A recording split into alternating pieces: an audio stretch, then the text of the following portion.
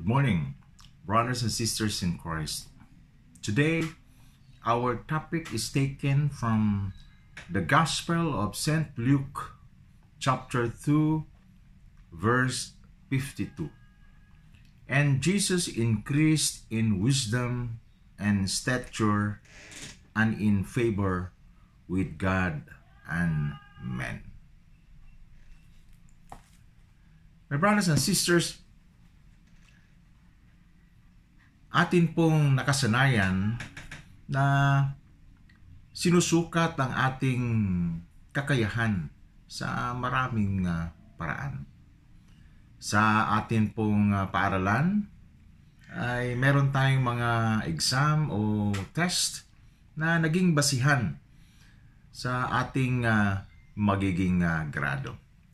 At sa ating opisina naman ay meron tayong mga evaluation test na kung saan ay naging basihan para sa atin pong uh, promotion at sa pagdagdag ng atin pong uh, mga sahod.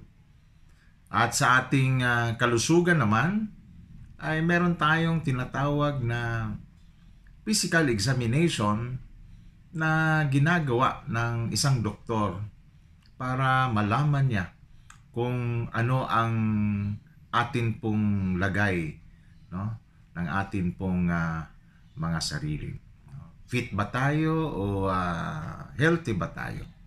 Pero never na sinusukat natin ang atin pong uh, spiritual or yung atin din pong uh, social uh, growth. As Jesus grew from an infant to child, to a youth, and to an adult. He increased in stature with uh, God and men. Kung uh, maganda ang pagkakilala mo sa atin pong uh, Panginoon, ay lalo mo siyang pagkakatiwalaan, hindi po ba? At kung malalim ang iyong naging ugnayan sa Kanya, ay lalo mong ma-admire ang kanyang karunungan at lalo mong ma-appreciate ang kanyang uh, pagiging mabait at ang kanyang pagiging uh, mahabagin. Likewise, as Jesus grew in his relationship with his heavenly Father, he continued to please him, di ba?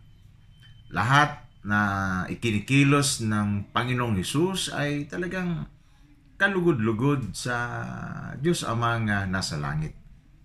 Sabi nga ni San Pablo, noong siya ay bata pa o bago pa lamang sa buhay uh, kristyano, siya ay uh, asal bata.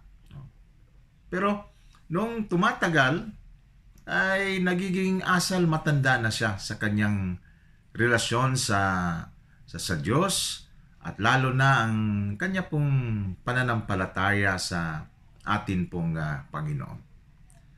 There is uh, nothing wrong with uh, acting like a baby when you are an infant.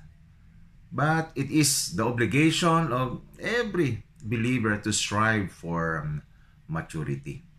Kailangan po talaga nating maging mature sa atin pong uh, spiritual na buhay.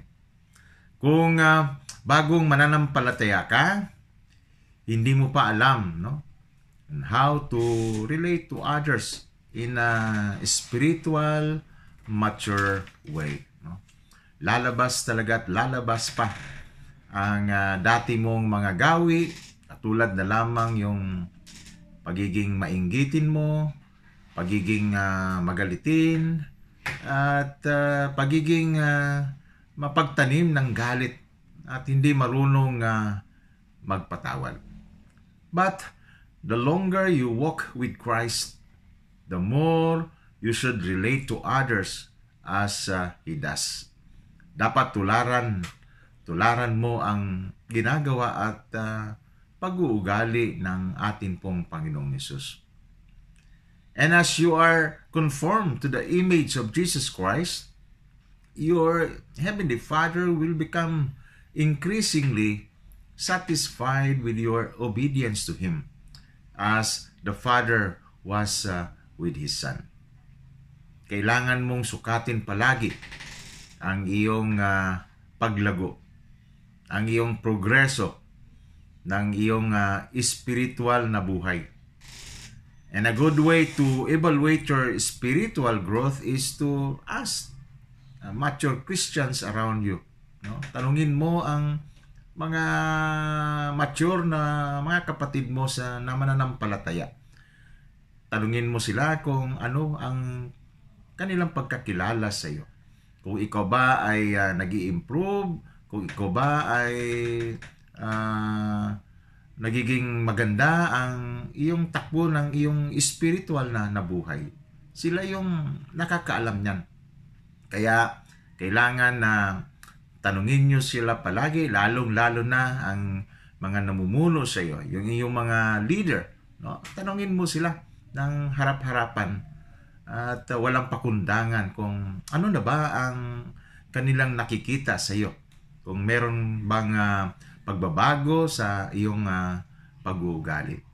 At kung uh, meron man silang nakikita sa iyo ay dapat uh, uh, baguhin mo ang lahat po ng mga negatibong ito para po maging maayos ang iyong uh, relasyon sa atin pong Panginoon. And kausapin mo rin ang Diyos. No? Kung ano na ba talaga ang iyong spiritual maturity sa Kanya. Uh, ikaw ay nanalangin, kausapin mo ang Diyos, Lord. Ano na ba ang akin pong relasyon sa iyo? Sabihin mo sa akin at magpahiwatig ka. Na? Kung uh, asal bata ka pa rin hanggang ngayon, ay dapat uh, pagsumikapan mong uh, maging asal matanda ka na sa iyong buhay uh, spiritual. Brothers and sisters, hindi pa huli ang lahat at uh, manalig tayo na tayo po ay uh, tutulungan ng banal na Espiritu upang mabago natin ang uh, atin pong mga sarili. Amen. Isang magandang uh, araw po sa inyo lahat, my brothers and sisters, at nawa tayo po ay pagpalain ng atin pong Panginoon sa araw na ito. May God bless us all. Amen.